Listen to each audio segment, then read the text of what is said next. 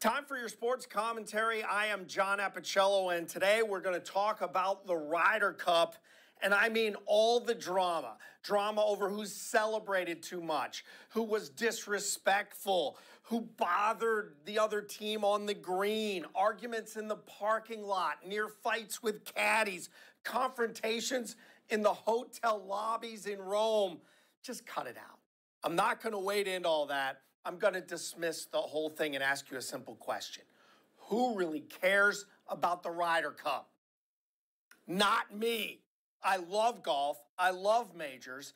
I love golf competition on all tours, but the Ryder Cup does not work for me. Golf is not, I repeat, not a team sport.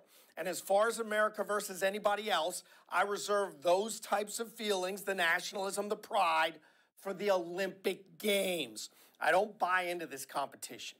I don't feel like a lot of these guys even like each other on their own teams, let alone the other teams. Maybe small pockets of groups of guys, a couple of guys here or there have their cliques, but otherwise, not really. So if you don't hang out with your teammates, you don't practice with your teammates on a regular basis, and you don't compete as a team during the season ever, then why is the Ryder Cup a thing? Others can love it, I don't. So all the drama for me doesn't ring true, right?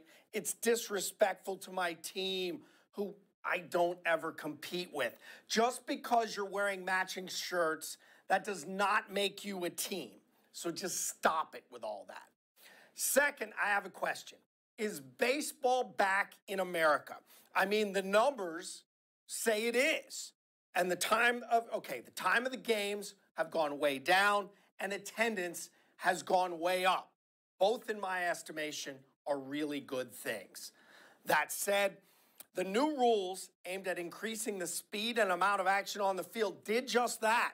The average time for a nine inning game in 2023, just under two hours and 40 minutes, the fastest in nearly 40 years. 20 more, four minutes shorter than last year.